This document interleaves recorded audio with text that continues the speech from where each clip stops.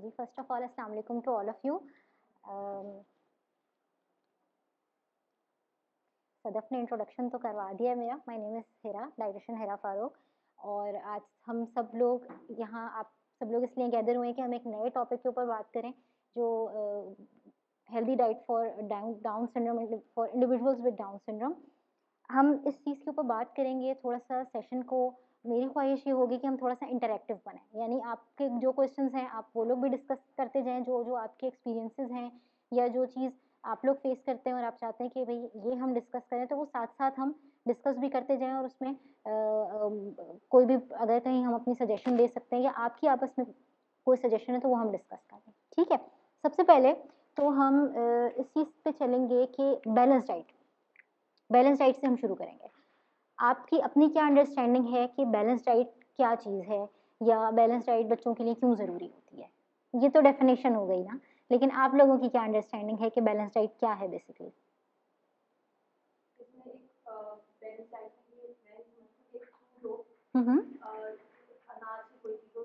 ठीक है। सही है सही है। ठीक। और जैसे हम हर कार्बोहाइड्रेट और एक हर इसमें से एक चीज़ उठा लें में से तो एक बैलेंस डाइट बन जाती है। ठीक है सही। और कोई? किसी और की कोई और अंडरस्टैंडिंग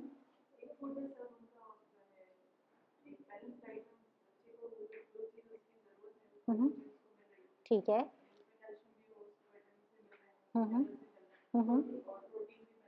सही। सही है। ठीक है। आप कुछ कह रही थी? यही कह रही थी। अच्छा डेफिनेशन के हिसाब से तो भाई balance diet consist of a of different types of food and providing adequates amount of nutrients necessary for good health definition wise ये है। लेकिन अगर हम आसान जबान में इसको कहें तो बेसिकली हमारे पास फाइव फ़ूड ग्रुप्स होते हैं पाँच ग्रुप्स होते हैं खाने के। uh, अनाज का ग्रुप सीरियल ग्रुप फ्रूट्स का ग्रुप ठीक है? सब्जियों का दूध या दही या दूध से बनी हुई चीज़ें और साथ में गोश्त का ग्रुप ठीक है, जिसमें अंडा, मुर्गी, मछली, दालें, ये सब चीज़ें भी आ जाती हैं। तो अगर हम बिल्कुल आम उसमें लैंग्वेज में बात करें तो इन पाँचों ग्रुप में से एक दिन में हर ग्रुप से कुछ ना कुछ मौजूद होना, जो कि बच्चे की ग्रोथ के लिए भी ज़रूरी है और आम नॉर्मल हेल्दी इंडिविजुअल के लिए ज़रूरी है। इन पाँचों ग्रुप में से शामिल होना और उसकी मुनासिब मकदार शामिल होना, ठीक है? ये एक बैलेंस डाइट कहलाएगी, जो उस हेल्दी इंडिविजुअल की ज़रूरत के, को पूरा करने के लिए चाहिए, ठीक है? जो सबसे अच्छी चीज़ अगर पेरेंट्स कोई अपने बच्चों को दे सकते हैं तो वो एक अच्छी बैलेंस डाइट है, ठीक? क्योंकि जब जब हमारी न्यूट्रिशनल स्टेटस अच्छा होता है, हमारी गजाइत का जो लेवल है, वो बेहतर होता है, जिसमें कमज़ोरी नहीं होती, कोई गजाई कमी नहीं होती तो हम बाकी सारी चीज़ें बहुत अच्छे तरीके से कर सकते हैं, ठीक है? तो ये एक बेहतरीन तोहफा है पेरेंट्स का, अपने बच्चों को, ठीक है? अच्छा अब डाइट इंपॉर्टेंट क्यों है? ये हमने डिस्कस किया ना। बैलेंस डाइट के ऊपर हम बहुत तवज्जो दे रहे हैं कि भाई बैलेंस डाइट होनी चाहिए और इसमें सारे फ़ूड ग्रुप्स शामिल होने चाहिए। लेकिन क्यों ज़रूरी है? क्योंकि ये इंपॉर्टेंट होती है आपकी मसल्स की डिवेलपमेंट के लिए, ठीक है? हमारे ऑर्गन्स की डिवेलपमेंट के लिए। ज़ाहिर है मस्क्यूलर स्ट्रेंथ नहीं आएगी अगर डाइट में अच्छा प्रोटीन नहीं होगा। बोन्स डेवलप नहीं होंगी अगर डाइट में अच्छा कैल्शियम नहीं होगा। तो बाकी सारी चीज़ों को अच्छा कवर करने के लिए डाइट हमारे लिए ज़रूरी होती है लर्निंग ऑब्वियसली इंटेलेक्चुअल लर्निंग अगर बच्चे का जो प्रोटीन की कमी होगी या उसका ब्रेन अच्छा नहीं फ़ंक्शन करेगा या मोटर स्किल्स अच्छी नहीं डेवलप होंगी तो वो नई नई चीज़ों को लर्न नहीं कर सकेगा, ठीक है? इसी तरीके से डेवलपमेंट जो हमने बात की कि बाकी चीज़ों के लिए न्यूट्रिशनल स्टेटस अगर इम्यूनिटी कमज़ोर होगी तो बार बार मल्टीपल इन्फेक्शन होते रहेंगे, कभी नज़ला, बुखार, खांसी, कोई चेस्ट इन्फेक्शन हो गया, कभी डायरिया हो गया तो डाइट इसलिए भी ज़रूरी है कि आपका इम्यूनिटी लेवल अच्छा रहे तो उसको मल्टीपल इन्फेक्शन ना हो। इन्वायरमेंट से कोप करने के लिए एक सेहतमंद बच्चा ज़्यादा बेहतर तरीके से अपने बाकी बहन भाइयों से, दोस्त से, घर में फैमिली में इंटरेक्शन कर सकता है एज़ कंपेयर टू एक बिल्कुल लिथार्जिक या बिल्कुल डल एक्टिविटी वाले बच्चे के। ठीक है अच्छा हम क्योंकि स्पेसिफिक बिल्कुल डाउन की डाइट के ऊपर बात कर रहे हैं तो बहुत सारी फीडिंग डिफ़िकल्टीज़ हैं जो आपको फेस करनी पड़ती होंगी। ये ये देखें, ये वाले एक्सपीरियंसेस हैं जो मुख्तलिफ़ फीडिंग डिफ़िकल्टीज़ हो सकती हैं। इसमें कोऑर्डिनेट नहीं कर पाते सक एंड सॉलो मसल्स क्योंकि ज़ाहिर मस्कुलर वीकनेस है, इतनी अच्छी डेवलपमेंट नहीं है, जिसकी वजह से उसको चबाने में मुश्किल है और निगलने में मुश्किल है। जब अच्छा सा चबा नहीं पाता तो जो बोलस जाता है, वो जाके एकदम ठंडा लगता है बच्चे को और वो खाने के दौरान या तो खांसी करेगा, बहुत ज़्यादा कफ होगी या अच्छा च्यू नहीं किया तो बहुत दफ़ा चले निगल लिया उसने, लेकिन फिर क्योंकि डाइजेस्ट अच्छा नहीं हो तो फिर पेट दर्द या और दीगर चीज़ों की शिकायत हो सकती है। टेक्सचर में प्रोग्रेस नहीं कर सकते। टेक्सचर से मतलब क्या है? जैसे लिक्विड चीज़ है लिक्विड चीज़ से हम आए सॉफ्ट डाइट पे मसलन डबल रोटी, उससे आगे बढ़ के हम आते हैं रोटी के ऊपर। तो हम आसानी से जल्दी जल्दी इनका टेक्सचर बढ़ा नहीं पाते। इन इन डिफ़िकल्टीज़ की वजह से, क्योंकि चबाने, निगलने की दुशारी हो रही होती है।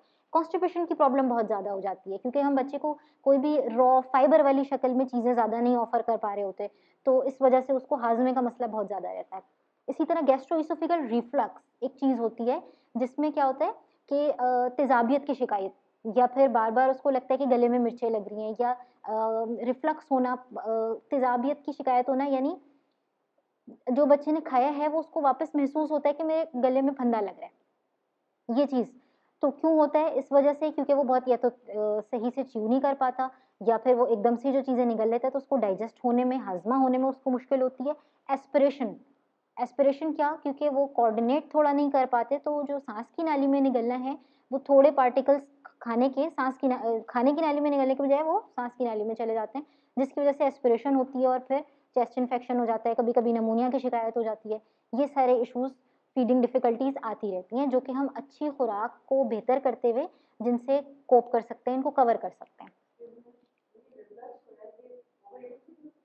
ओवर ईटिंग से भी हो सकता है, इनएक्टिविटी से भी हो सकता है, या इस वजह से भी हो सकता है कि एक साथ जो है ना बच्चे ने बिंज ईटिंग कर ली। काफ़ी देर भूखा रहा, कुछ नहीं खाया, कुछ नहीं खाया, अपने खेल में लगे रहे और उसके बाद फिर एक साथ बहुत ज़्यादा खाना खा लिया। या खाना खा के फ़ौरन सो गए, या खाना खा के बहुत ज़्यादा पानी पी लिया। ये वाली चीज़ें सारी इसमें जाती हैं। गिराना, बिल्कुल हाँ। ड्रूलिंग करते हैं बेसिकली ठीक है? अच्छा कॉन्स्टिपेशन पे हम सबसे पहले डिस्कस करते हैं। कॉन्स्टिपेशन के लिए परेशान कब होना चाहिए? थोड़ी सी कुछ गाइडलाइंस है हमारे पास कि अगर बहुत ज़्यादा दिन गुजर जाए बाउल मूवमेंट के बगैर यानी आंतों की हरकत थोड़ी सी सुस्त होती है क्योंकि बच्चों की एक्टिविटी कम होती है। जब एक्टिविटी उनका चलना फिरना आ, कम है तो ऑब्वियसली अंदर आंतों की हरकत भी कम है। अगर तीन से चार दिन गुजर जाएँ और कॉन्स्टिपेशन है स्टूल पास नहीं हुआ है तो फिर आपको ज़रूरत है परेशान होने की कि भाई ये चीज़ प्रॉब्लम कर सकती है। हार्ड स्टूल हो या बच्चे को तकलीफ़ हो या वो रोए स्टूल पास करने के दौरान। इसका मतलब ये है कि अंदर आंतों में खुश्की है या फाइबर की कमी है या पानी की कमी है, ठीक है? एबडोमिनल पेन है, पेट में दर्द हो रहा है, उसको नोजिया हो रहा है, पेट में मरोड़ हो रही है, या कभी कभी इतना क्रॉनिक कॉन्स्टिपेशन हो जाता है कि बच्चों को ब्लीडिंग शुरू हो जाती है। ये बहुत ज़्यादा इस लेवल पे, इस स्टेज पे ना आने दें, ठीक है?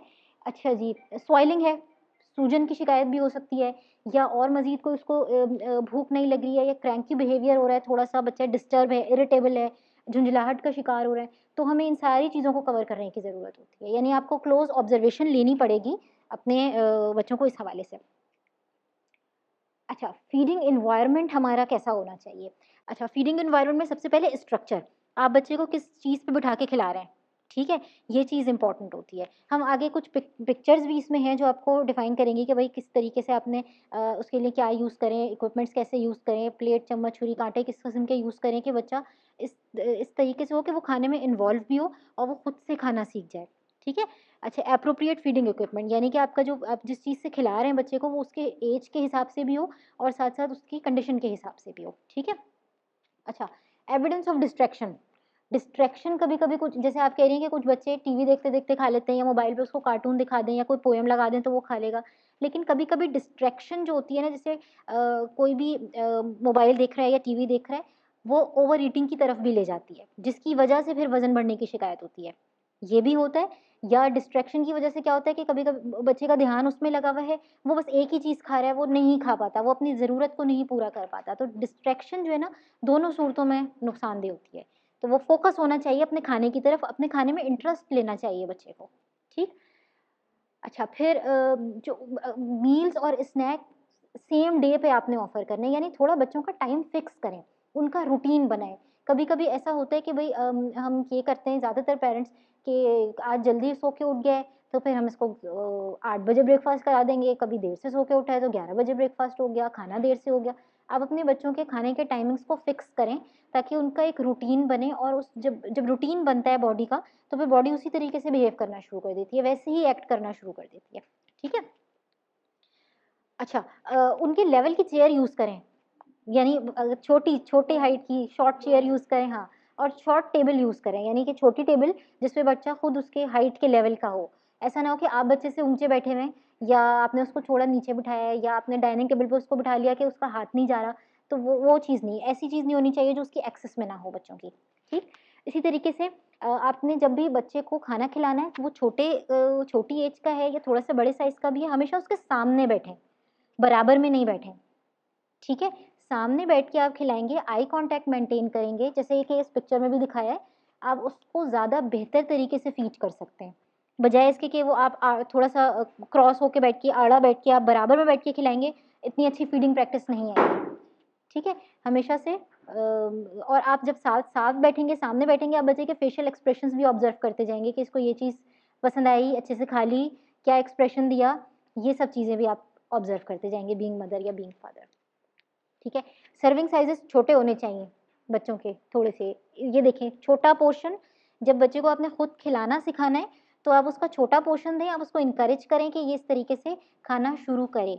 और छोटा पोर्शन होगा, वो खुद से फिनिश कर लेगा तो बच्चा थकेगा नहीं, ठीक? लेकिन अगर हम उसके सामने बहुत सारी चीज़ें एक बहुत बड़ी ट्रे बना के पेश कर देंगे तो वो फिर कभी कभी कुछ बच्चों के लिए मुश्किल हो जाता है कि वो उसमें फिर इंटरेस्ट नहीं लेते या वो खाना छोड़ देते हैं। या उनको ये लगता है कि मैं बहुत ज़्यादा खाते खाते अब थक गया हूँ तो मैं इसको लीस्ट इंटरेस्टेड हो जाते हैं उसके अंदर से।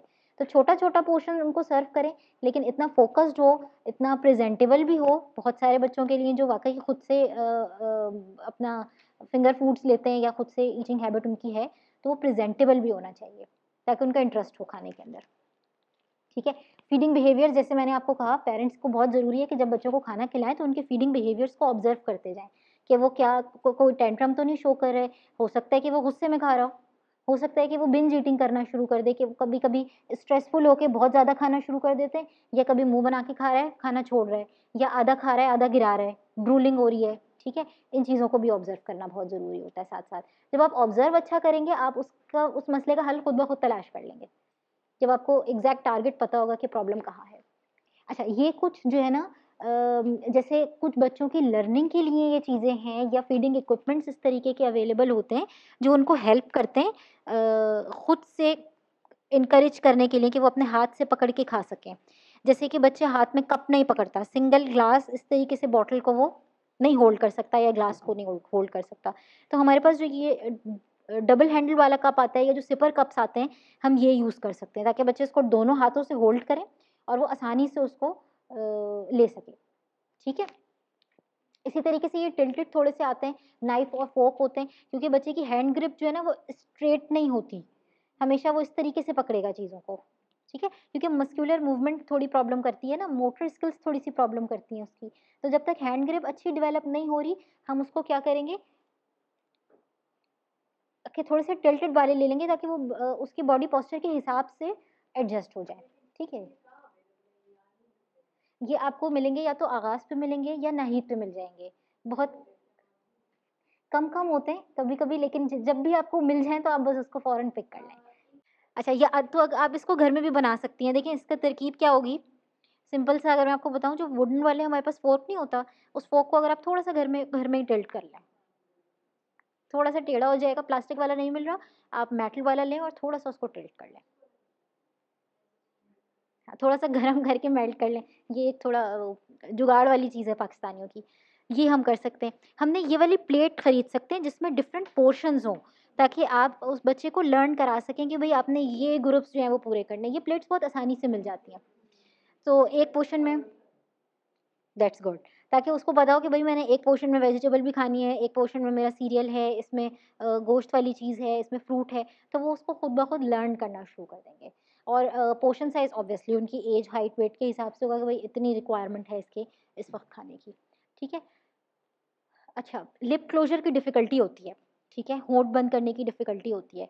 तो स्पून फ़ीड आप, वो वाली चीज़ है ना कि बच्चे थोड़ा सा खाते हैं थोड़ा सा ड्रॉप करते हैं। तो इनिशियली ये चीज़ डेवलप कराना लर्न कराना, इसमें बहुत अच्छी प्रैक्टिस क्या होती है कि पेरेंट्स अगर सामने बैठें और बच्चे को फेस को इस तरीके से लेके और उसको बंद करना सिखाएँ।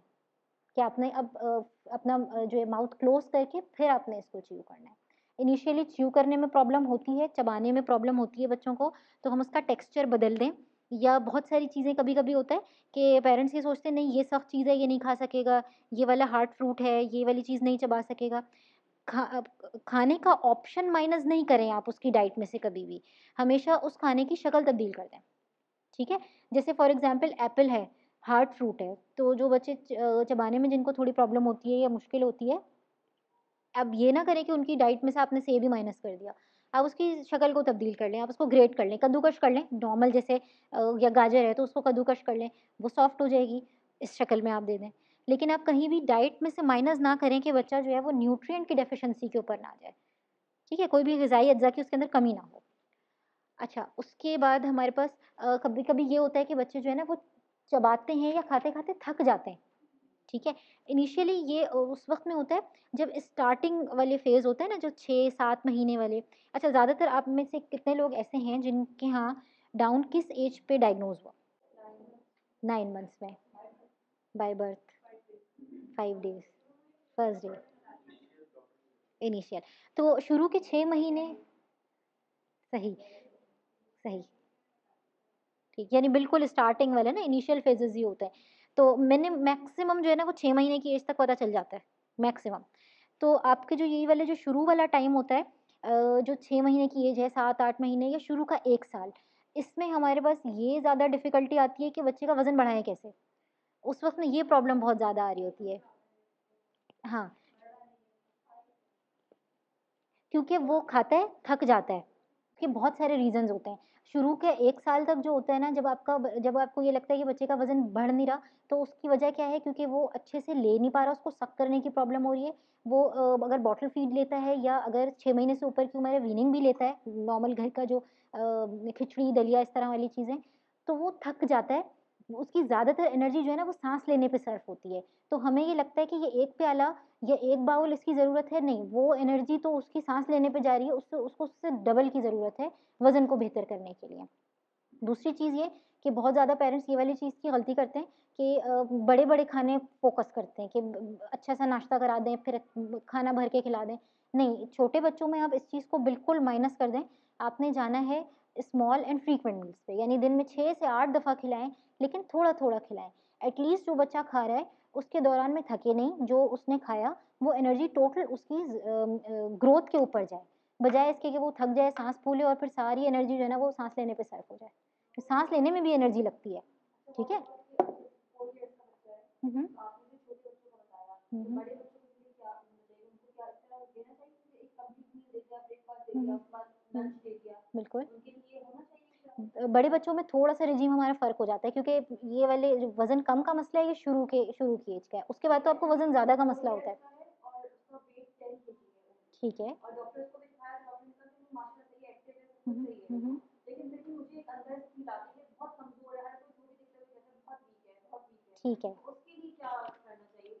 हुँ। हुँ, हुँ। ठीक है। हुँ, हुँ, हुँ। बिल्कुल। बिल्कुल, ये वाली चीज़ आप उसके लिए भी फ़ॉलो कर सकती हैं, वज़न बढ़ाने के लिए ना बेसिकली ये चीज़ तो। तो आप इस इस सिचुएशन में भी फ़ॉलो कर सकती हैं। लेकिन मेक श्योर sure कि जब आप वज़न बढ़ाने की बात कर रहे हैं, तो आप एक लिमिट के अंदर रह के बढ़ाएँ, क्योंकि हमें ज़रूरत से ज़्यादा भी नहीं करना कि उसको हैंडल करना फिर मुश्किल हो जाए, ठीक है? तो हम एक बिल्कुल लिमिटाइज कि आइडियल बॉडी वेट ये होना चाहिए, हम इस हद तक जा सकते हैं और कोशिश करें कि उसको थोड़ा बॉटम लाइन के ऊपर ही रखें, ताकि उसको बाकी चीज़ों के लिए आसानी हो। जितना ज़्यादा बच्चे का वज़न बढ़ेगा ना, उसको मोटर स्किल्स डेवलप करने में मुश्किल हो जाएगी, ठीक है? तो ये चीज़ थोड़ा-सा ज़रा इस पर फ़ोकस करना ज़रूरी होता है, ठीक? अच्छा, पिकी ईटर्स, जो अभी बीच में बात हुई थी कि वो सेलेक्टेड फूड्स ही बस खाते हैं। तो पिकी ईटर्स भी हैं, कितने परसेंट लोग एक्सपीरियंस करते हैं कि बस कुछ बच्चे आलू ही खाते हैं, कुछ चावल ही खाए खाने चाहिए होता है उनको, कुछ बच्चे सिर्फ़ चिकन खा रहे होते हैं, है ना? मीट ईटर्स स्पेसिफिकली और?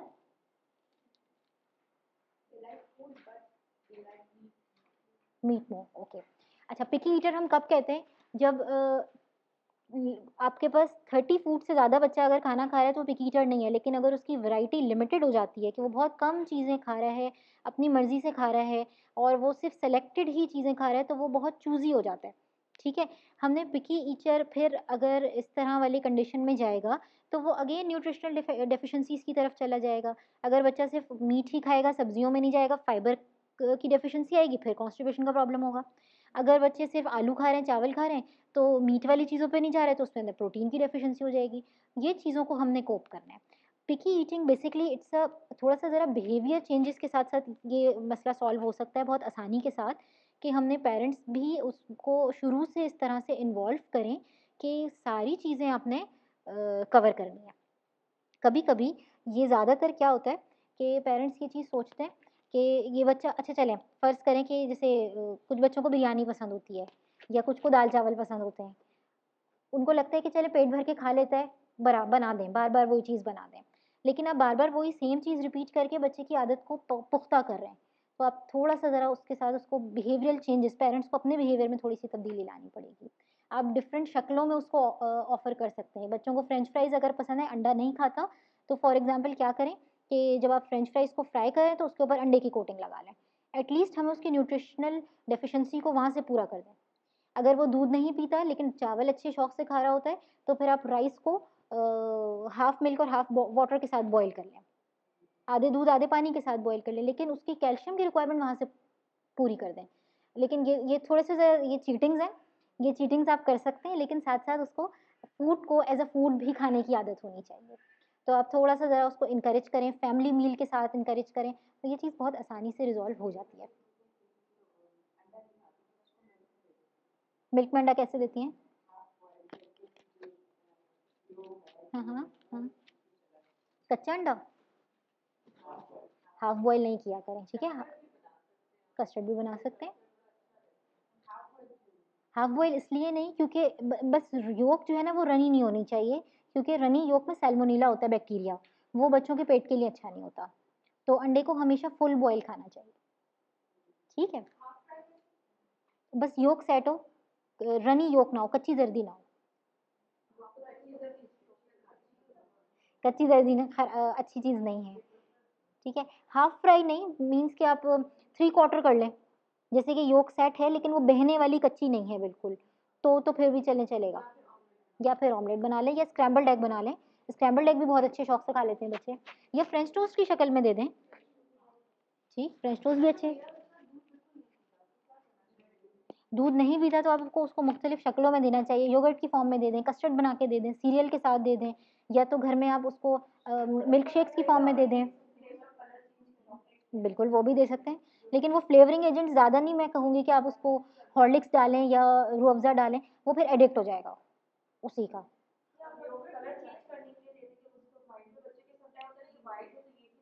हाँ।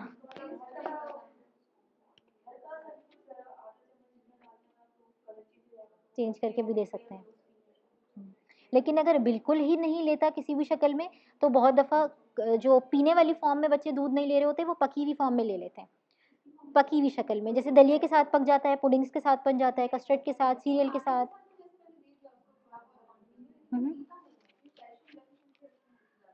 तो आपने उसको कुछ ना कुछ मिला के उसके अंदर एडिटिव के तौर पे इस्तेमाल करवाएँ, या तो आप उसके अंदर फ्लेवर थोड़ा सा डाल दें या फिर आप यूँ कर सकती हैं कि उसके अंदर सिनेमन डाल सकती हैं, वो भी फ्लेवर चेंज कर देता है।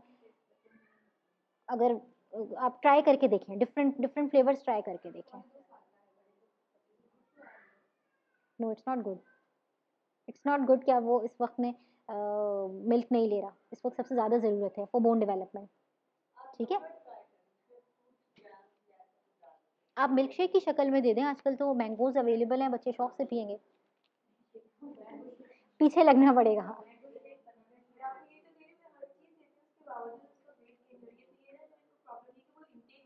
हाँ।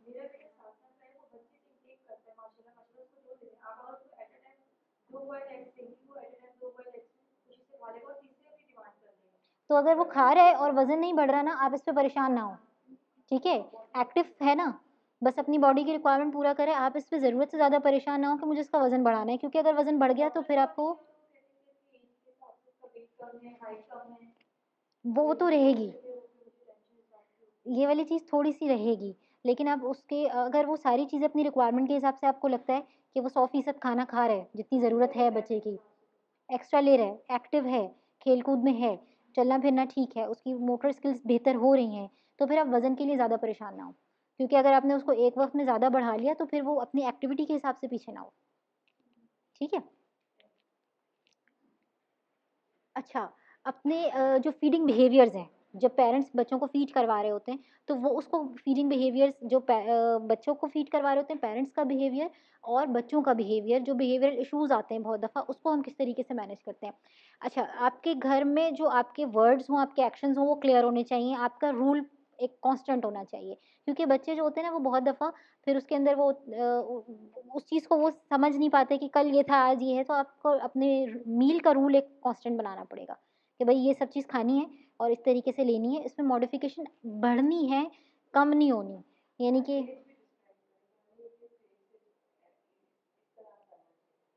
अ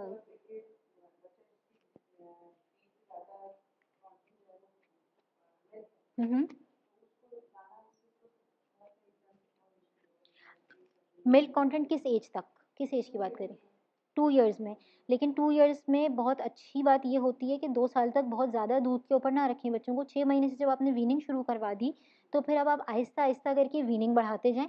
मिसाल के तौर पे अगर बच्चा दिन में तीन दफ़ा खाना खा रहा है और चार दफ़ा दूध ले रहा है, तो अब आ आप एक को एक से रिप्लेस करते जाएँ। जैसे चार दफ़ा अगर उसने चार दफ़ा फीडर लिया है और तीन दफ़ा आप उसको थोड़ा-थोड़ा खिचड़ी या दलिया कोई चीज़ खिलाइए तो अब एक दफ़ा आप उसका ओरल खाना बढ़ा दें और एक फीडर कम कर दें। तो वो ग्रेजुअली बच्चे शिफ्ट हो जाते हैं अपने नॉर्मल खाने की तरफ़।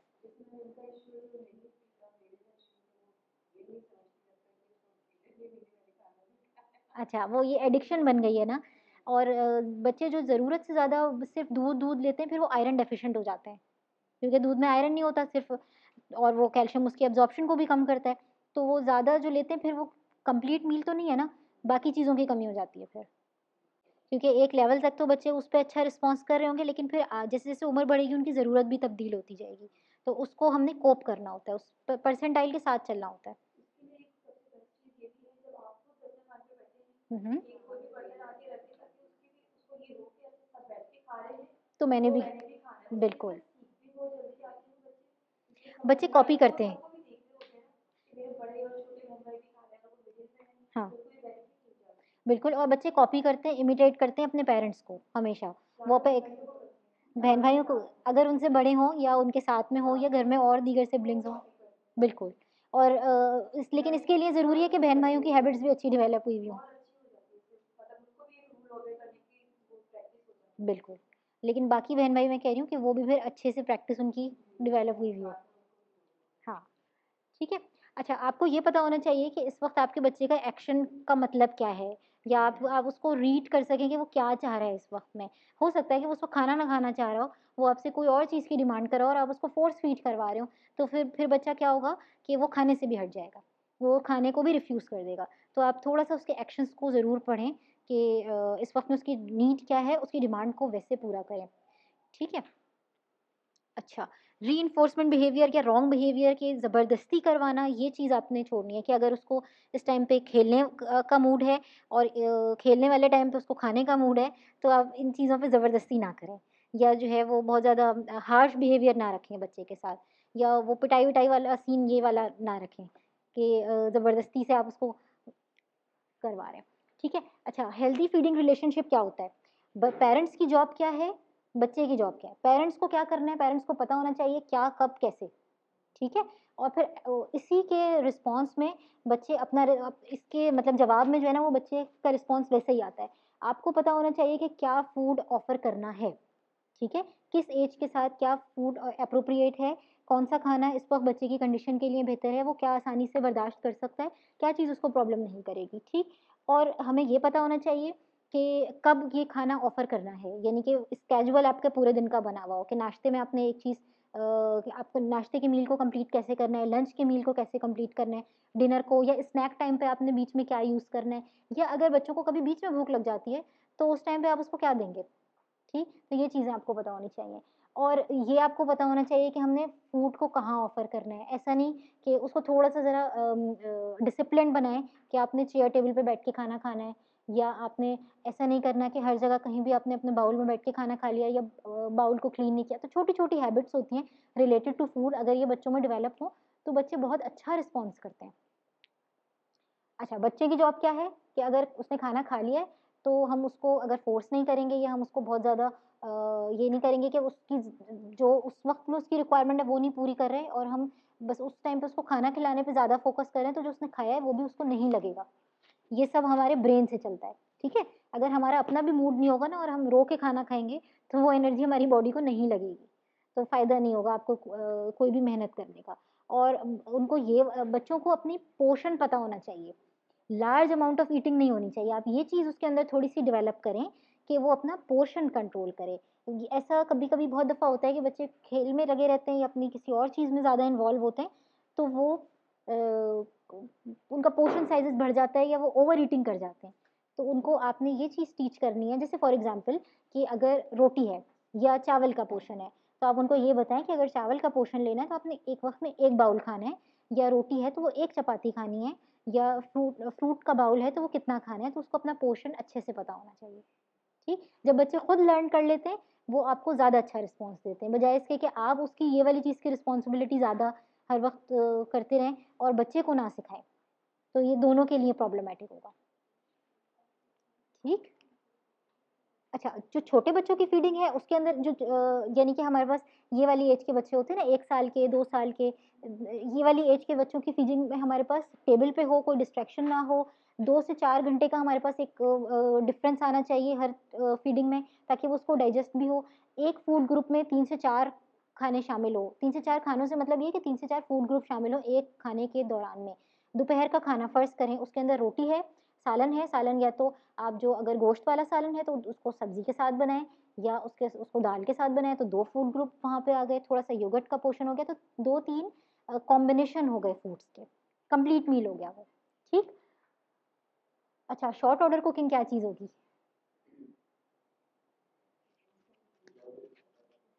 हाँ हाँ और? शॉर्ट ऑर्डर कुकिंग से यहाँ स्पेसिफिकली ये मुराद है कि बच्चों ने कहा कि भाई फॉर एग्जांपल कि वो फ्रेंच फ्राइज उसने खाने हैं या नूडल्स ही खाने हैं। तो वो फटाफट फ़ौरन से ऑर्डर पे आप नहीं बना के देंगे कि अभी खाना खाए और अभी एक घंटे के बाद उनको नूडल्स खाने हैं या उनको टू मिनट नूडल्स हमारे यहाँ बहुत ज़्यादा, एक तो चलते हैं। तो वो आप फ़ौरन फ़ौरन शॉर्ट ऑर्डर पे नहीं बनाएँगे कि एक ज़रा छोटे से नोटिस के ऊपर फटाफट खाना बन गया या छोटे से नोटिस के ऊपर जो है वो आपके घर में फ्रोज़न फूड्स हैं और वो आप फ़ौरन से उसको नगेट्स फ्राई करके दे दें।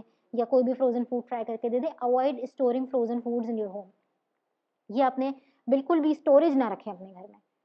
तो वो, ये सबसे ज़्यादा प्रॉब्लमेटिक होती है जब आपके पास फ्रोज़न स्टोरेज मौजूद होती है। वो, और ख़ास तौर पे वो भी जो होम मेड ना हो, जो आपकी कमर्शियली प्रिपेयर्ड हो, वो बहुत नुकसान करती है।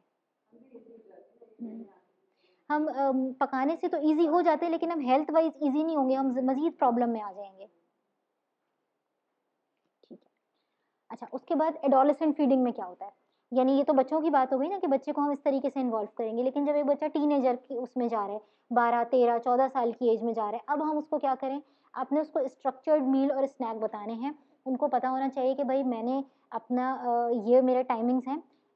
बच्चों की रिस्पॉन्सिबिलिटी पेरेंट्स ले रहे हैं। उस वक्त उसको सिखाने में कि मैं यहाँ पे इस टाइम पे इसको मील ऑफ़र करूँ या इतना पोर्शन खाना है, वो लर्निंग वाला फ़ेज़ आ गया। एडोलेसेंट में क्या हुआ? अब आप लर्न कर चुकना चाहिए बच्चे को और अब वो खुद अपने मील का ख्याल करना शुरू कर दे। ठीक?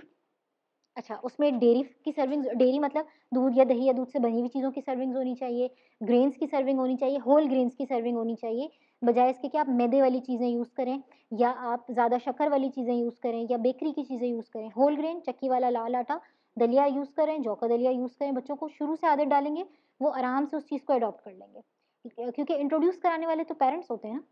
अगर पेरेंट्स इंट्रोड्यूस ही नहीं कराएँगे शुरू से, ज़्यादातर आप में से सब का जो डायग्नोस्टिक एज है वो एक महीना, दो महीना सेकेंड डे ऑफ़ लाइफ तो वहाँ से तो बच्चे सीख के आ ही नहीं रहे। ठीक है तो जब आप उसको हैबिट डेवलप कर रहे हैं तो शुरू से उसकी आदत को ठीक डेवलप कीजिए। ठीक है कैल्शियम एडोलेसेंट की डाइट में होना बहुत ज़रूरी है फॉर ग्रोथ। ठीक? जिंक का बहुत अच्छा सोर्स है बीफ। विटामिन डी का क्या सोर्स है खाने में? खाने में बहुत कम सोर्सेज हैं। फोर्टिफाइड मिल्क अगर है तो वो अच्छा सोर्स होगा ऑयली फ़िश अगर है तो वो अच्छा सोर्स होगा। अदरवाइज़ ये कि आप कैल्शियम वाली चीज़ों को खा, लेना है और आपने सनलाइट का जो एक्सपोजर है वो भी बहुत ज़रूरी होना चाहिए। ठीक है? अच्छा। फैमिली मील एडोलेसेंट एज में आप खासतौर पे बच्चे को खुद खाना बनाने के अंदर इन्वॉल्व करें। ऐसा नहीं कि कोई कोई उसको हार्श चीज़ दें छुरी वुरी ना पकड़ाएँ, बच्चों के हाथ में कांटे ना पकड़ाएँ, जो वो उनको सेल्फ हार्म कर सके, नुकसान कर सके, लेकिन आप उसको खाने के अंदर इन्वॉल्व करें कि अब ये देखो, ये आपने खुद बनाया, अब हम इसको खाएँगे। यानी कि जैसे कभी कभी बच्चे छोटे छोटे कुकीज़ बेक कर लेते हैं, या सैंडविच खुद बना लेते हैं सेटिंग कर लेते हैं या कबाब बनाने में बहुत अच्छा उनकी स्किल्स बहुत अच्छी डेवलप हो जाती हैं, हाथों की स्किल्स का काम आता है। या आप उनसे बॉल्स बनवा लें छोटी सी पोटैटो बॉल्स बन गई तो वो उसको खुद खाना बनाने के अंदर इन्वॉल्व करें। तो जब बच्चे खुद उसमें इन्वॉल्व होंगे और जब वो खाएँगे तो उनको खुद भी मज़ा आएगा और वो लर्न करेंगे। क्योंकि उन्होंने खुद बनाई होती है ना, और वो बाकियों से शेयर भी करेंगे। बहुत चेयर अप होके कि ये मैंने बनाया या ये उसकी प्रोडक्ट हो जाएगी, एक तरीके से। ठीक है? और फैमिली के साथ खिलाएँ हमेशा। ये चीज़ का बिहेवियर बहुत ही ज़्यादा गलत होता है कि आप बच्चे को पहले खिला दें और खिला के सुला दें। ऐसा कभी नहीं करना चाहिए। चाहे बच्चों की एज एक साल की हो, आठ दस महीने की हो, दो साल की हो या जितना भी बड़ा बच्चा हो, हमेशा फैमिली मील रखें। ठीक है? क्योंकि फैमिली के टाइम पे टेबल पे, दस्तरखान पे, जिस तरह से भी खाना कंज्यूम होता है किसी के भी घर में वो वहाँ पे सबसे ज़्यादा खाने की हैबिट डेवलप होती है, बच्चा अपनी फैमिली का खाने का तरीका सीखता है। और जब आप अलग से बिठा के उसको कुछ खिला देंगे तो वो आपको टेंट्रम्स दिखाएगा, क्योंकि उसको बाकी चीज़ों का पता ही नहीं है। ठीक, इंट्रोड्यूस कराना बहुत ज़रूरी होता है। अच्छा ये हमारे पास एक लिस्ट है जो रिकमेंडेड फूड्स हैं। इसमें क्या, छोटी एज में तो हमारे पास ये हो रहा है कि थोड़ा सा ज़रा वेट का इशू आ रहा है, हमने वज़न को बढ़ाने की तरफ़ काम करना है। लेकिन जब एडोलेसेंट एज पे हमारे पास वेट का इशू आ रहा है तो हम डाइट को इतना अच्छा रखेंगे और हम बहुत सक्सेसफुली रख सकते हैं, जिससे वेट बहुत हद तक कंट्रोल हो जाए। जैसे हम ग्रुप वाइज अगर चलें तो मिल्क या मिल्क प्रोडक्ट्स में आप लो फैट को ऑप्शन यूज़ करें, ठीक है? या आप लो फैट का ऑप्शन स्किम मिल्क बाज़ार वाला नहीं यूज़ करना आपने, जो नॉर्मल घर में फ्रेश मिल्क आता है, वो यूज़ करें, उसको थ्री टाइम्स बॉईल करें, तीनों दफ़ा क्रीम ना रिमूव करें, एक दफ़ा रिमूव करें, बाकी टू पार्ट्स उसमें रहने दें। ठीक है? तो मिल्क का फैट भी अच्छा होता है, वो ऐसे बुरा नहीं है, लेकिन थोड़ा सा उसको कम कर लें। ठीक? इसी तरीके से या जो चीज़ है या योगर्ट है पैकेट की एक तो पैकेट की योगर्ट या ना यूज़ करें। घर की जम जाती है अगर तो बहुत अच्छी बात है आप घर में वही मिल्क को आपने लो फैट किया और उसी से आप योगर्ट को आ, कल्चर कर लें उसी से योगर्ट बना लें तो आपकी होममेड फ्रेश प्रिपेयर्ड होगी वो ज़्यादा बेहतर ऑप्शन है बल्कि बेस्ट ऑप्शन है ठीक? अच्छा फिर हम मीट या मीट प्रोडक्ट्स पे जाते हैं। अंडा मुर्गी मछली गोश्त सब चीज़ यूज़ करें लेकिन बच्चों को आप बहुत ज़्यादा स्पाइसी या तले भुने खानों की तरफ़ ना लेकर जाएँ। कि जंक फूड्स की तरफ़ जा रहे हैं या बहुत ज़्यादा हम कढ़ाइयाँ, बिरयानियाँ, नहारी, इस टाइप की चीज़ें जो बहुत ज़्यादा रोगन वाली चीज़ें, उनकी तरफ़ ना लेकर जाएँ, ठीक? प्रिजर्व फूड्स की तरफ़ ना लेकर जाएँ। स्पेसिफिकली मैं कहूँ कि के की तरफ़ ना लेकर जाएँ या ये जो मेन्यू मिल रहा है या और बहुत सारे हमारे प्रिजर्व्ड आइटम्स हैं, ये चीज़ें घर में ना स्टोर करें। क्योंकि जब स्टोर होती है तो फिर बच्चे उसकी जगह का भी पता लगा लेते हैं कहाँ रखी है और फिर वहाँ से जो है वो बहुत मरतबा यूज़ होना शुरू हो जाती है। बिस्किट्स, चिप्स निमकोज घर में स्टोर ना करें। जितना ज़्यादा स्टोरेज रखेंगे, उतनी ज़्यादा कंजम्पशन हो जाएगी। ठीक है? फिर आप पेरेंट्स खुद भी आसान हो जाते हैं कि अब मैं, चलो मैं क्या पका के दूँ? चलो ये फटाफट बना दो। या ये नूडल्स रखे हैं चलो ये बना दो। वो ये वाली आसानी बच्चों की हेल्थ के लिए बहुत मुश्किल कर देती है। अच्छा ग्रेन्स जैसे मैं पहले भी कह चुकी हूँ मल्टी ग्रेन्स यूज़ करें, चक्की वाला, लाल आटा। या आप जो ये वाली चीज़ें होती हैं, मैदे से सिर्फ़ बिस्किट्स या ये चीज़ नहीं बनती निमकोज भी मैदे से बन रही होती हैं हमारे पास या बहुत ज़्यादा प्रिजर्व फूड्स जो कोटेड होते हैं उस पर भी आ, मैदे या ब्रेड क्रम्स लगे हुए होते हैं ये सब चीज़ें अवॉइड करें। सिंपल कार्बोहाइड्रेट जूसेस हैं कोल्ड ड्रिंक्स हैं ये सब अवॉइड करना है आपने ठीक? जहाँ जहाँ से सिंपल कार्बोहाइड्रेट बॉडी के अंदर जा रहा है वो सब माइनस करेंगे। जब आप सिंपल कार्ब माइनस करेंगे तो खुद ब खुद बहुत हद तक कैलोरी का काउंट कम हो जाएगा। सिंपल कार्बोहाइड्रेट अगर मैं आपसे कहूँ एक वाइट ब्रेड एक चपाती के इक्वल ग्राम्स ऑफ़ कार्बोहाइड्रेट देती है। लेकिन पेट क्या चीज़ भरेगी? रोटी। एक वक्त में एक स्लाइस से पेट नहीं भरेगा, उसका पोषण ज़्यादा होगा। दोनों में पंद्रह ग्राम कार्बोहाइड्रेट है, ठीक है? दोनों में अस्सी कैलोरीज है। लेकिन पेट भरने वाली चीज़ रोटी है। आप एक वक्त में एक रोटी खा के पेट भर जाएगा। लेकिन ब्रेड स्लाइस अगर बच्चा खाएगा तो वो कम अज़ कम एक वक्त में दो से तीन चाहिए होंगे। कैलोरीज बढ़ गई कार्बोहाइड्रेट भी बढ़ गए तो एट दी एंड क्या हुआ? कि आपने पोर्शन तो अपना बढ़ा के और एक्सेस कैलोरीज बढ़ा ली। तो सिर्फ़ इसको टर्न करने की एक ज़रूरत है। वेजिटेबल्स में आप सारी वेजिटेबल्स खिलाएँ, सारे फ्रूट्स खिलाएँ, लेकिन जो फल, जो सब्ज़ी जिसका छिलका हम खा सकते हैं, हम 99 परसेंट सब्जियों का छिलका खा सकते हैं, छिलके के साथ खाना चाहिए। हम बहुत सारे फ्रूट्स का छिलका खा सकते हैं जिनका हम उतार देते हैं, उनको छिलके के साथ खाना चाहिए। बच्चे नहीं खा पा रहे होते, अगर आप उसको शेक भी बना के दे रहे हैं ना, आप छिलका ना रिमूव करें। अगर आप उसका सॉस बना के दे रहे हैं या आप उनको मैश्ड वेजिटेबल की फॉर्म में दे रहे हैं या अगर आप बहुत दफ़ा बच्चों को नगेट्स पसंद हैं होममेड नगेट्स दें, उसमें डाल दें शामी कबाब घर में बन रहे हैं, उसके अंदर थोड़ी सी ग्रेटेड सब्ज़ी मिला दें, या बच्चे को अगर अगर वो सिर्फ़ गोश्त गोश्त वाली चीज़ खा रहा है तो आप जो सालन बना रहे हैं, उसके अंदर बिल्कुल ग्रेट करके सब्ज़ी डाल दें कि वो शोरबे में मेल्ट हो जाए। अगर वो नहीं खाता ना, बिल्कुल निकालता है मुँह से कि मैंने नहीं खाना, आप शक्ल तब्दील करके ऑफ़र करना शुरू करें। क्योंकि आपको न्यूट्रिएंट की डेफिशिएंसी बच्चे के अंदर नहीं लानी किसी भी सूरत में। उसको पानी से अच्छी तरीके से धोएँ। जो ऊपर वाला वैक्स होता है ना, या तो आप फाइव टू टेन मिनट्स पानी के अंदर भिगो दें और फिर निकाल के यूज़ कर लें। तो फिर बेहतर हो जाएगा। जो ऊपर जो भी उसकी कवरिंग या उसके मेडिसिन या कोई भी दवाई ववाई लगी हुई होती है, वो वॉश हो जाएगी और फिर आप उसको यूज़ कर लें।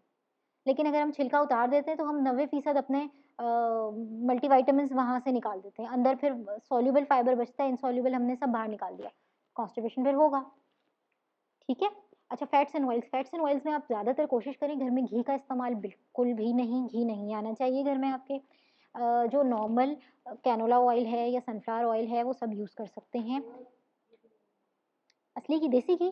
देसी घी इज़ फाइन ठीक है? लेकिन डब्बे वाले का नहीं पता आपको कि वो देसी है या नहीं। खुद बना रहे हैं तो बहुत बेस्ट है यूज़ कर सकते हैं। ठीक? लेकिन क्वांटिटी कंट्रोल होगी। देसी घी घर में होने का मतलब ये नहीं है कि आपको तली हुई चीज़ें खाने की इजाज़त मिल गई, या आपको बहुत ज़्यादा डीप फ्राइड चीज़ें यूज़ करें, क्योंकि एट दी एंड फैट तो फैट है, जितना ज़्यादा यूज़ करेंगे कैलोरीज वो उतनी ज़्यादा देगा। और फिर जितना ज़्यादा फैट वाली चीज़ होती है, क्योंकि वो उसका टेस्ट ज़्यादा होता है तो वो हमेशा खाई ज़्यादा जाती है। ठीक है? बच्चे उसकी, उसका पोर्शन साइज़ बहुत ज़्यादा कंज्यूम कर लेते हैं। तो उसको आपने थोड़ा अवॉइड करना जी वनस्पति? नहीं वनस्पति नहीं। देसी घी आप यूज़ कर सकते हैं, लेकिन आप वज़न के लिए घी का ऑप्शन ना यूज़ करें, ठीक? आप उसको बटर यूज़ करवा सकते हैं चीज़ यूज़ करवा सकते हैं, पनीर का इजाफा कर दें डाइट में क्रीम का इजाफा कर दें डाइट में, ताकि उसको सिर्फ़ चिकनाई ना जाए ना, बाकी दूसरी चीज़ें भी तो जाएँ ठीक देखें, अगर आप घर में देसी घी बना सकते हैं ना तो उसी से पहले मक्खन बन जाता है, वो भी आप यूज़ कर सकते हैं। मार्जरीन इज़ नॉट गुड मैं ये नहीं कहूँगी कि लेकिन उसके अंदर कुछ बचता नहीं है, वो बहुत ज़्यादा ही रिफाइन कर देते हैं। इससे बेहतर ये कि आप एक फुल फैट बटर ले लें। वो एक चाय का चम्मच यूज़ हो जाएगा, इतना नुकसानदेह नहीं है, या इतनी को प्रॉब्लम नहीं करेगा। ठीक एज़ कंपेयर कि आप प्रोसेस पे जाएँ। बिल्कुल कर सकते हैं।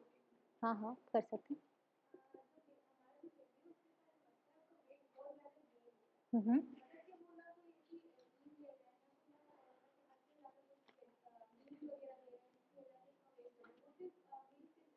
ठीक है, क्या एज है बच्चे की? एज क्या है? थ्री इयर्स में अगर वो सिर्फ़ दूध पे चलेगा, वज़न बढ़ेगा। ठीक है? क्योंकि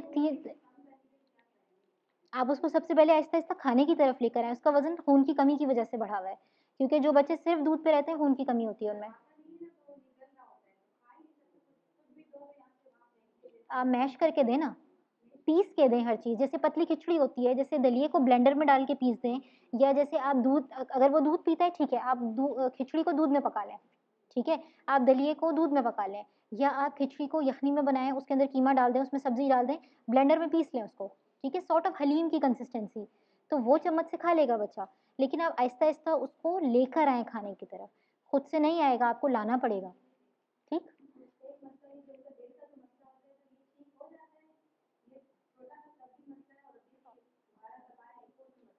देखिए, ये तो एक मेडिसिनल मसला है जो कि प्रॉब्लम रहती है, लेकिन इसकी वजह से खाना पीना मुतासर होता है बहुत दफ़ा। और लेकिन ये मैं नहीं कहूँगी कि ये खाने से ये मसला हल हो सकता है। ठीक है? क्योंकि वो तो एक फिजियोलॉजिकल प्रॉब्लम है ना, वो होती है। अच्छा इसी तरीके से फिर आपने, जैसे मैं बार बार ये कह रही हूँ कि प्रिजर्वेटिव वाली चीज़ें घर में ना रखें, ये बहुत काउंट करती हैं वज़न की ज्यादती की तरफ़। और छोटे बच्चे जो सिर्फ़ एक ही फ़ूड पे रहते हैं, वो फिर, क्योंकि वो सिर्फ़ कार्बोहाइड्रेट कार्बोहाइड्रेट जा रहा है बॉडी के अंदर, वो फिर खून की कमी से भी फूल सकता है, मोटा हो सकता है, या सिर्फ़ कार्बोहाइड्रेट के इंटेक की वजह से भी वज़न की ज़्यादती हो सकती है, आप उसकी डाइट में आहिस्ता आहिस्ता करके दूसरे फ़ूड ग्रुप्स शामिल करना शुरू करें। एकदम से नहीं होता, वरना बच्चा फिर चढ़ के खाना छोड़ देगा, जो वो खाना खा रहा है उसी के अंदर पहले दूसरी चीज़ शामिल करें एक्सेप्ट कर लेगा, फिर आप एक चीज़ और स्टेप वाइज शामिल करें, रोज़ एक नई चीज़ करें, ताकि उसके अंदर एक्सेप्टेंस आए, ठीक है? एक रिसर्च में आपसे शेयर करूँ, बच्चे एक दफ़ा में एक निवाला मुँह से निकालते हैं, दूसरी दफ़ा में निकालते हैं पेरेंट्स को हिम्मत नहीं हारनी चाहिए सिक्सटीन टाइम एक्सेप्ट कर लेते हैं, सोलहवीं दफ़ा में एक्सेप्ट कर लेते हैं, ठीक है? क्योंकि उनको पता चल जाता है पेरेंट्स पीछा नहीं छोड़ेंगे, अब खिलाएँगे, चलो हम खा ही लेते हैं, ठीक? अच्छा न्यूट्रिशन थेरेपी की टिप्स छोटी छोटी सी हम शेयर कर लें जस्ट यहाँ पे।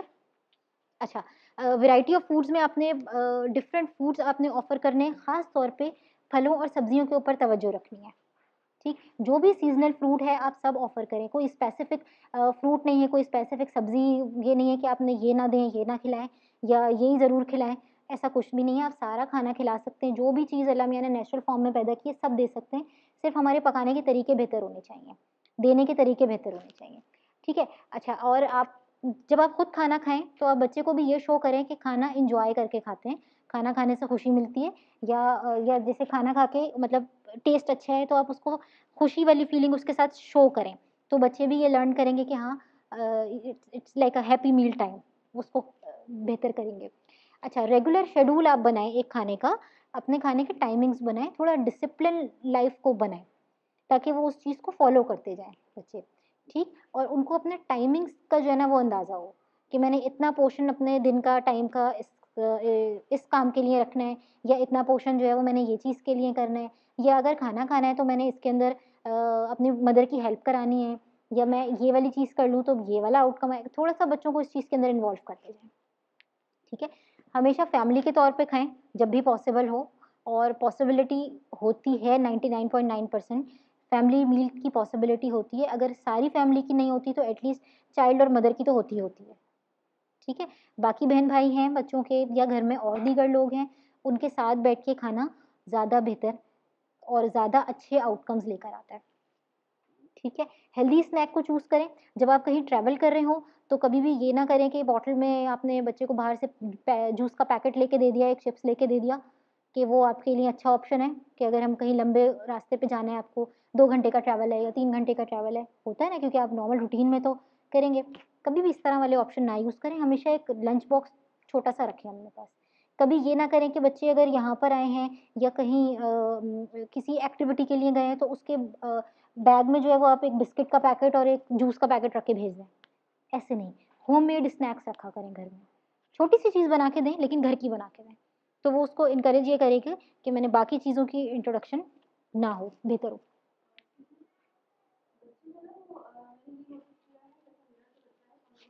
हम्म हम्म। सही। हम्म। हाँ हाँ हाँ। ठीक है। सबसे पहले तो पापा के बिस्किट बंद कराएँ, ठीक है? क्योंकि बच्चे जो होते हैं, वो पेरेंट्स ही तो ऑफ़र कर रहे होते हैं, ठीक है ना? क्योंकि पेरेंट्स खुद कंज्यूम करें लेकिन वो एक्सपेक्ट ये करें कि बच्चों को हम नहीं देंगे या बच्चे नहीं करेंगे, ये पॉसिबिलिटी नहीं है, ठीक है? अच्छा दूसरी चीज़ ये कि अगर सोशल गैदरिंग गैदरिंग्स में बच्चे अट्रैक्ट ही उस वक्त होते हैं जब उनको घर में इस चीज़ का थोड़ा बहुत एक्सपोजर होता है। उनको पता होगा इस चीज़ का। ठीक। फिर आप क्या करती हैं? दे देती हैं। दे देती है ना? उसको दूसरी कोई चीज़ दें? या एक आध बाइट आपने दे दी तो चले ठीक है, लेकिन पैकेट खरीद के ना दें। ठीक।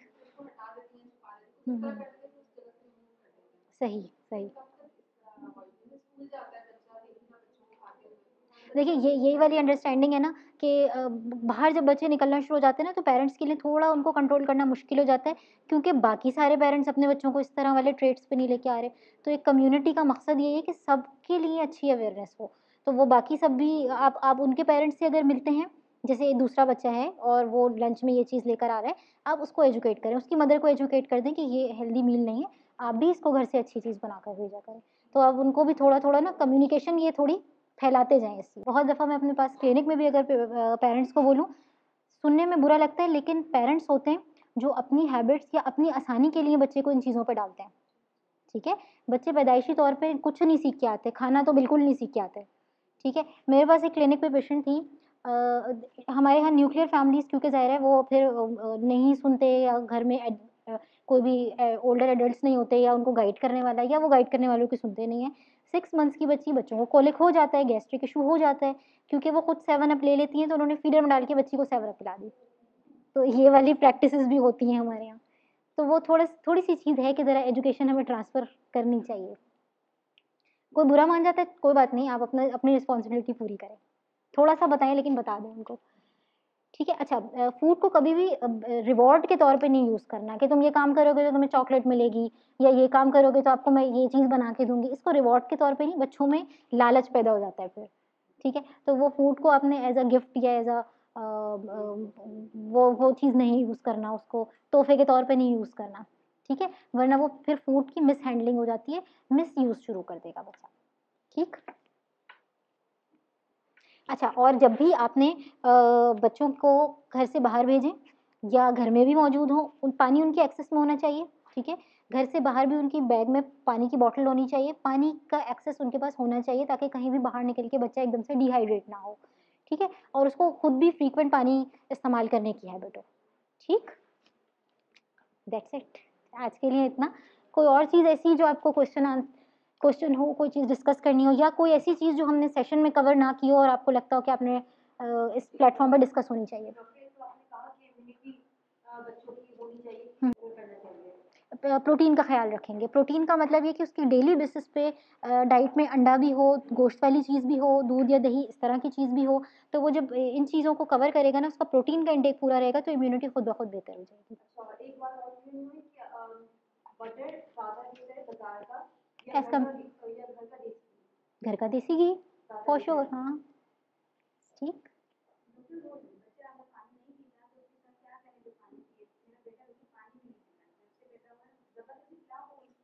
है है अच्छा आप किस तरह पिलाती हैं?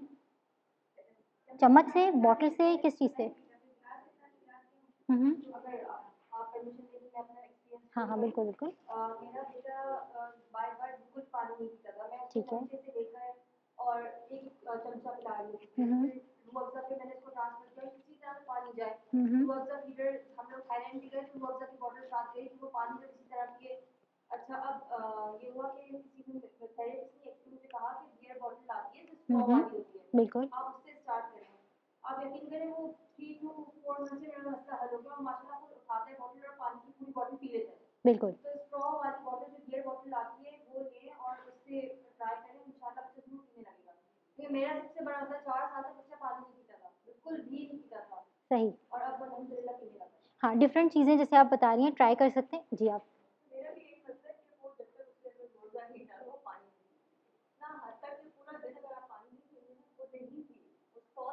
यही मसला है एग्जैक्टली यही मसला था बहुत आराम से करती है। ठीक। लेकिन वो हर जूस पी लेगी लेकिन वो प्लेन वाटर का टेस्ट बच्चों का नहीं है। सही। आपको टेस्ट किस तरह से लगता आप रूह अफ़ज़ा कितना डालती हैं? है एक ग्लास में एक चम्मच। उसको आहिस्ता आहिस्ता कम करना शुरू कर दें वही कम कर करके बिल्कुल एक टीस्पून जरा से ही होता है लेकिन वो फ्लेवर जब तक नहीं आता ना वो नहीं पीता। अब मैं दूध को भी डाइल्यूट करके उसको देखूँ कि एटलीस्ट उसकी वाटर इनटेक पूरी हो बेहतर हो जाए। आप आहिस्ता आहिस्ता, ठीक है, बच्चे फ्लेवर एडिक्ट अगर हैं तो फिर आप वो ग्रेजुअली फ्लेवर को कम करते करते जस्ट कलर के लिए छोड़ दें।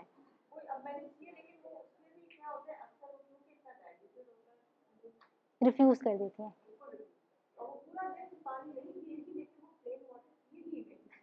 तो आप फिर ज़्यादा उसकी डाइट में थोड़ा सा सिट्रस फ्रूट बढ़ाएँ।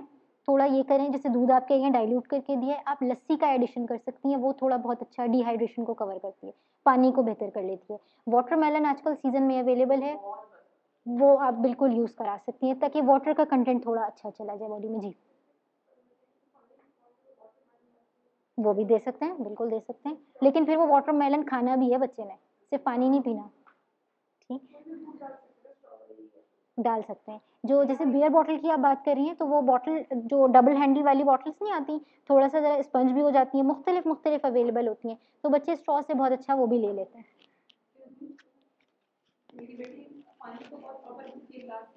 ठीक। ठीक ठीक। हम्म हम्म, ठीक। ठीक। फिर उसे क्रैम्प्स की तरह पेन उठ रहे थे मैंने आगा डॉक्टर सुहेल सुबानी को दिखाया। ठीक। एक और कोई लंबे डॉक्टर उनको दिखाया। उन्होंने कहा तीन बजे रात में लाइएगा जिस उसको पैरों के आप ले आइए मैं ले गई। उन्होंने कहा कि बच्चों की आंतें जो है वो उलट जाती हैं। हम्म। इसके लिए अल्ट्रासाउंड होगा और टेस्ट होंगे। वो सारे करवा दिए। सब कुछ क्लियर है। लास्ट दिन उनके पास कोई आंसर नहीं था। उन्होंने डाउन सिंड्रोम को ये प्रॉब्लम होगी अब मैं ये समझ नहीं पा रही कि मेरी बेटी प्रॉपर डाइट भी लेती है। ठीक है। टाइम बिल्कुल उसका शेड्यूल बना हुआ है जैसे मेरे बड़े दो बेटे हम्म। प्रॉपर वो बैठकर खाना खाते ठीक है। ये एक ड्रॉबैक है कि खुद नहीं खाती। ठीक। लेकिन लिमिटेड खाती है ओवर ईटिंग नहीं है उसकी जो उसकी डाइट है बस एक रोटी उसने खानी है उसके बाद वो नहीं खाती। सही गुड लेकिन मुझे ये प्रॉब्लम आ रहा है कि जब उसे दर्द उठता है उसका यहाँ से पेट हार्ड हो जाता है हम्म हम्म, और वो बाकायदा Cramping शुरू हो जाती है। सही। लेकिन मुझे एहसास हो रहा था कि किसी ने कहा फेजमोलेक्स का सिरप दें हम्म इसको गैस की कोई ऐसा इशू नहीं लेकिन डॉक्टर अभी तक रियलाइज़ नहीं कर पाए डॉक्टर सुहेल सुवानी इतने बड़े। अच्छा जब भी उसको दर्द होता है उस टाइम वो कॉन्स्टिपेटेड होती है बच्ची? कॉन्स्टिपेट वो स्टूल पास कर चुकी थी फिर भी उसे पेन हुआ। मैंने डॉक्टर की सारी बातें बताई जब क्लियर हो गया फिर ये पेन क्यों हो रहा है हम्म हम्म, तो उनके पास कोई रिस्पॉन्स आया मैंने टेस्ट भी करवा उसके सब कुछ हो गया। लेकिन उनका कहना है कि बस जब कुछ नहीं मिलता तो लास्ट में ये है कि डाउन सिंड्रोम बच्चों में ये होता ये होता तो है लेकिन इसका इसका बहुत एक छोटा सा इसके लिए आप डाइट्री हल ये रखेंगे कि बच्ची डेली बेसिस पे स्टूल पास करे दो दिन का टाइम नहीं होना चाहिए ठीक है? पालक है आयरन की चीज़ें हैं वो सब उसको देती हूँ। ग्रेजुअली वो रिमूव भी हो जाता है हम्म। तो मसला भी हल हो जाता है कि पालक वगैरह से बहुत से लोग कहते हैं कि स्टूल पास नहीं बहुत अच्छा लेग्जेटिव क्या होता है? हमारे पास आपकी बच्ची दूध पी लेती है? दूध नहीं लेती वो दूध की जगह मैं उसको शेक वगैरह देती हूँ हम्म उससे भी उसको प्रॉब्लम स्टूल का अच्छा उसमें आप क्या करेंगी? दो तीन चीज़ें ऐसी हैं जो बहुत अच्छा लेग्जेटिव के तौर पे काम करते हैं। अग- अगर नहीं लेती तो थोड़ी हैबिट डेवलप करने की कोशिश करें। एक ग्लास नीम गर्म दूध में एक खाने का चम्मच जैतून का तेल। ये बहुत ही बेहतरीन लेग्जेटिव होता है। या आप उसके खाने में फ्लैक्स सीड्स शामिल कर दें। ठीक फ्लैक्स सीड्स को तवे पर रोस्ट करके क्रश करके रख लें। ठीक है? और वो आप या तो जो रोटी बन रही है वो खाने में आप आटे में शामिल कर लें, दलिया खाया तो आप एक चम्मच उसमें दे दें, या अगर वो वैसे ही खा के पानी ले लेते हैं ऊपर से, अगर उसको फंदा नहीं लगता, वैसे मैं ऐसे रिकमेंड नहीं करूँगी क्योंकि फिर वो कभी कभी कुछ बच्चों को प्रॉब्लम करता है। आप चीज़ों में मिला दें, ठीक है? फ्लैक्स सीड्स में भी फाइबर अच्छा है, वो भी बेहतर कर देगा। सीज़न में पपाया मौजूद है, बेहतरीन लेग्जेटिव के तौर पे काम करेगा, आप वो ज़रूर डाइट में शामिल रखें। रेजिडुअल रह जाता है कुछ। रेजिड्यू रह सकता है, ठीक है? यानी बच्चों की आंतों की हरकत इतनी अच्छी नहीं है कि उसकी आंतें कम्प्लीटली क्लीन हो सकें, ठीक? तो अगर थोड़ा बहुत रेजिड्यू रह जाता है और वहाँ पे वो उसको पेन करता है तो ये चीज़ हो सकती है। उसकी आंतों को हमने प्रॉपर क्लियर करना ज़रूरी है, ठीक है? आड़ू मौजूद है सीज़न में, वो आप यूज़ कर सकती हैं। जब आप थोड़ी सी ये वाली हैबिट हो जाएगी ना कि बजाय 48 आवर्स पे स्टूल पास होने के 24 आवर्स में होने लगेगा तो ये चीज़ कम हो जाएगी, ठीक है? जी। सही? ठीक सही गुड। हम्म। हम्म। ठीक है। ठीक है।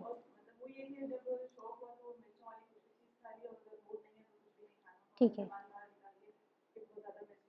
सही।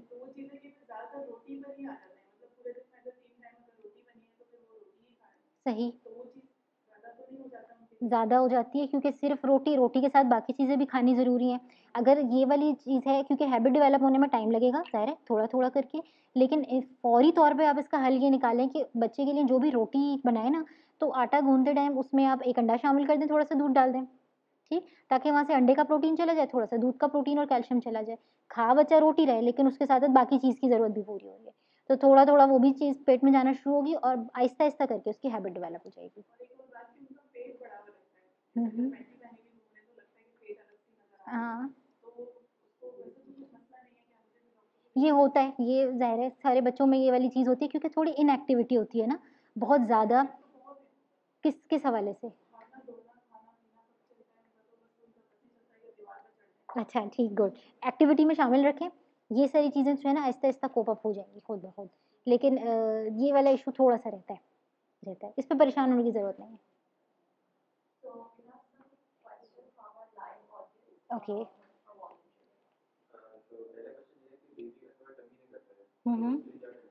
फिज़िकली एक्टिव अगर बेबी हो सकता है तो उसको फिज़िकली एक्टिव करें, थोड़ा सा कैलोरी रिस्ट्रिक्ट करें, यानी जैसे हम सिंपल कार्बोहाइड्रेट वाली चीज़ों की बात करें ना, वो रिस्ट्रिक्ट करें। हम्म। बिल्कुल ज़रूरी है। एज क्या है पहले तो ये बताएँ? अगर छः महीने से कम है छः महीने से कम है तब ज़रूरत नहीं है लेकिन छः महीने से ऊपर है तो ज़रूरी है। हम्म। उस वक्त किन किस महीनों में मतलब? इस वक्त क्या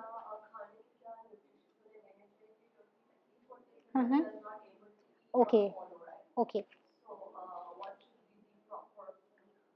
ठीक है। जब बच्चों को टीदिंग हो रही होती है ना तो उनके गम्स स्वेल हो जाते हैं, मसूड़े फूल जाते हैं, या उनको बहुत दर्द होता है, या कभी कभी कुछ बच्चों को डायरिया हो जाता है, कुछ को नज़ला रहने लग जाता है, थोड़ा इन्फेक्शन उनको बार बार होने लग जाता है।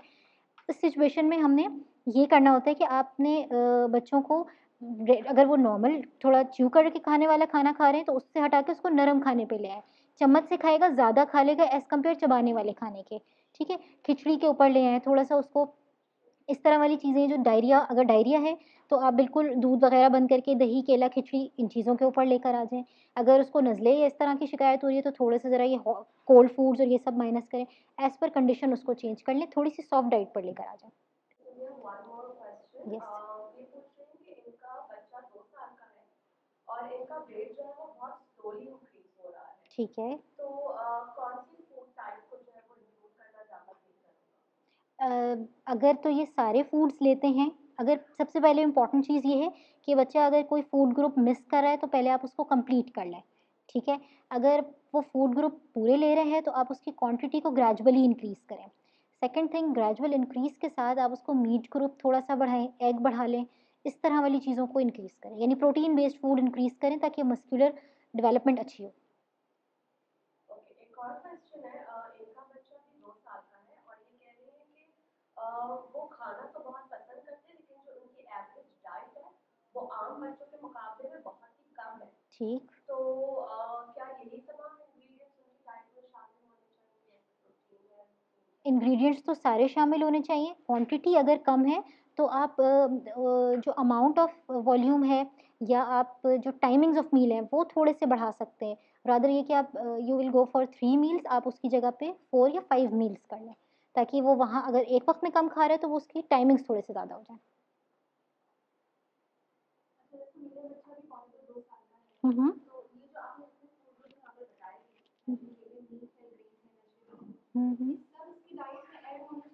यस इन वन डे देखिए three meal three main meals यानी ब्रेकफास्ट लंच डिनर और दो स्नैक्स दो स्नैक्स इन टर्म्स के सुबह मिड मॉर्निंग वाला स्नैक हो गया सुबह ग्यारह बारह बजे के करीब जो बच्चे फ्रूट की फॉर्म में। अगर मैं इसका आपका एक सिंपल सा मेन्यू बताऊँ तो आपने ब्रेकफास्ट लिया। ब्रेकफास्ट में एग हो गया पॉरेज हो गया सीरियल हो गया, ठीक? ये अगर आठ नौ बजे के करीब ये वाला ब्रेकफास्ट है तो आप ग्यारह बारह बजे के करीब में उसको एक फ्रूट ऑफ़र कर सकते हैं, ठीक है? फिर दिन में एक डेढ़ बजे के करीब में आपका लंच हो गया। लंच में जैसे हमने डिस्कस किया था कि वो एक वक्त में तीन से चार फ़ूड ग्रुप उसमें शामिल हों। फिर अगेन शाम चार पाँच बजे के करीब, बजाय इसके कि आप बच्चे को टी टाइम की हैबिट डालें, आप उसको वहाँ पे एक फ्रूट ऑफ़र कर दें, या घर का होममेड कोई स्नैक ऑफ़र कर दें। रात में सेवन टू एट मील हो जाए एंड बेड टाइम पे वन ग्लास ऑफ़ मिल्क अगर सुबह में मिल्क ले लिया है, पूरे दिन में ज़्यादा हो गया है, रात में नहीं लेना, आप स्किप कर सकते हैं, लेकिन पूरे दिन का ये मील ज़रूर होना चाहिए। होममेड सारे स्नैक्स अगर च्यू अच्छे से कर लेता है तो आप चना चाट भी बना के दे सकते हैं, बच्चे इंजॉय करते हैं। होममेड कबाब दे सकते हैं। आप होममेड बच्चों को पराठा रोल देने के बजाय आप रोटी रोल बना के दे दें। घर की रोटी बना के उसके अंदर रोल वेजिटेबल्स एंड चिकन रख दें या कीमा रख दें, वो अच्छा ऑप्शन हो जाएगा। घर का बना हुआ आप बहुत दफ़ा बच्चों को दही बड़े बना के दें, ठीक है? फ्रूट चाट बना के दें, इस तरह वाली चीज़ें दें।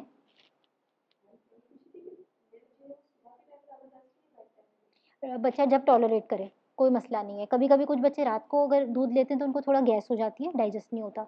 आप उन्हें सुबह में दे दें, अगर रात में लेने से कोई मसला नहीं होता, रात में दे दें। तो दोनों टाइमिंग्स में कोई डिफ्रेंसिएशन नहीं है।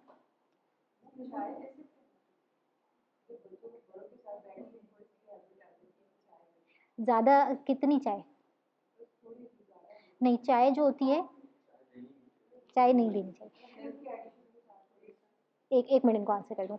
चाय जो होती है ना, उसके अंदर बेसिकली वो आयरन की एब्जॉर्प्शन कम करती है हिंडर करती है। बच्चे पहले ही इतना अच्छा खाना नहीं खा रहे हैं। पहले ही उसकी डाइट में आयरन की इतनी अच्छी सोर्सेज नहीं है। आप मज़ीद चाय देके उसकी एब्जॉर्प्शन को भी कम कर दें। तो कोशिश करें अवॉइड करवाएँ चाय। चाय की हैबिट नहीं। दे दें। लेकिन कोई अच्छा ऑप्शन इसके अलावा घर का ऑप्शन ज़्यादा अच्छा है। पैकेट वाले ऑप्शन में बिल्कुल नहीं प्रेफर करूँगी, जी। जी जी। बिल्कुल ले सकते हैं। अगर बच्चे को फंदा लगने का इशू नहीं है तो आप चम्मच से दे सकती हैं। अगर उसको कोई चीज़ कफ करता है या कोई भी क्योंकि वो पाउडरी फॉर्म है ना अगर वो वाली चीज़ प्रॉब्लम करती है तो आप खाने में शामिल कर दें हम्म। एक गिलास दूध के साथ एक खाने का चम्मच हम्म। दे सकते हैं दे सकते हैं फ्लेक्सीड्स देखें बहुत दफ़ा पेरेंट्स जो है ना वो इस्पगोल देना शुरू कर देते हैं इस्पगोल रखते हैं डाइट में डेली डेली मस्ट इस्पगोल सिर्फ़ एक फाइबर छिलका है जो कि कैल्शियम की आयरन की एब्जॉर्प्शन को कम करता है at the end bone weak हो जाती हैं अगर उसका रोज़ रोज़ का इस्तेमाल हो। जबकि फ्लैक्सीड्स क्या है कि वो अपना इटसेल्फ उसके अंदर कुछ अच्छे ऑयल्स भी हैं वो इन चीज़ों को प्रॉब्लम नहीं करता। तो वो फाइबर भी देता है और बाकी आपको नरिशमेंट भी देता है।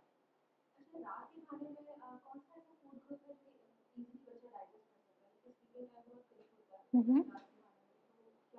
आप सबसे पहले स्लीपिंग टाइम और रात के खाने का डिस्टेंस बढ़ाएँ। ठीक है? कम सोने और रात के खाने में कम से कम चार से पाँच घंटे का वक्फा होना चाहिए, ताकि वो अपना आधा मील प्रॉपर पूरा डाइजेस्ट कर ले और उसके बाद फिर उसको प्रॉब्लम नहीं होगी, फिर आप सारे फ़ूड ग्रुप्स यूज़ कर सकते हैं। हाँ फिर कोई भी मील यूज़ कर सकते हैं। लेकिन ज़्यादा कोशिश करें कि रात के वक्त में फैटी फूड्स हैं फ्राइड फूड्स हैं, इस तरह वाली चीज़ें ना करें, क्योंकि वो जो देर लगती है ना जिन खानों को हज़म होने में, वो अवॉइड करें रात के वक्त में। On and off not habitual कि डेली बेसिस पे उसको शाम के स्नैक में फ्रेंच फ्राइज ही पसंद है तो रोज़ बनेंगे, ऐसा नहीं।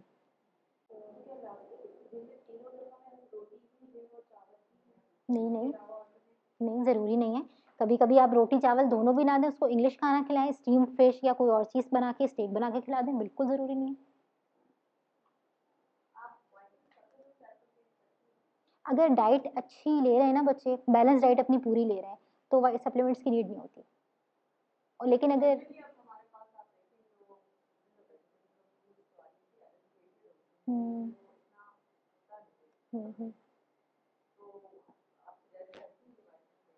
not regularly depending on the need लेकिन हर बच्चे के लिए नहीं। मतलब it it should not be part of your diet आपकी रोज़ाना की डाइट का हिस्सा नहीं होना चाहिए।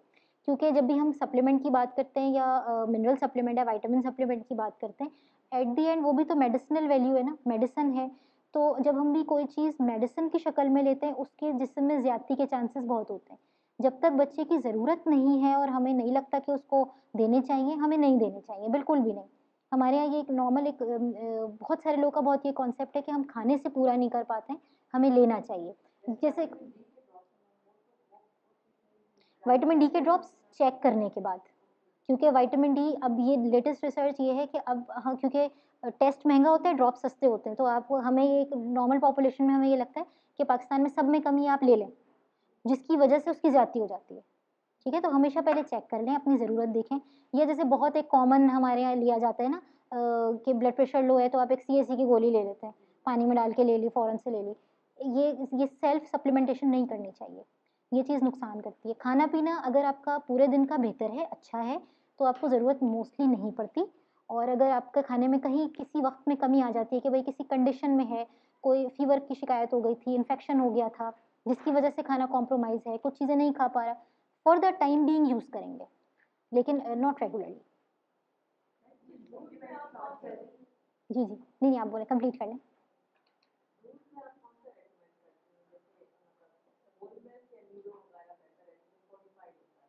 फोर्टिफाइड यूज़ कर सकते हैं। Pasteurise is the best option pasteurise fresh milk Tetra Pak पे ना जाएँ कि आप जिसके अंदर प्रिजर्वेटिव वाला नहीं, जो हमारे पास पैकेट लूज मिल्क में आते हैं या पाउचेस में आ जाते हैं कभी कभी जो शॉर्ट एक्सपायरीज पे आ जाते हैं, वो हम यूज़ कर सकते हैं।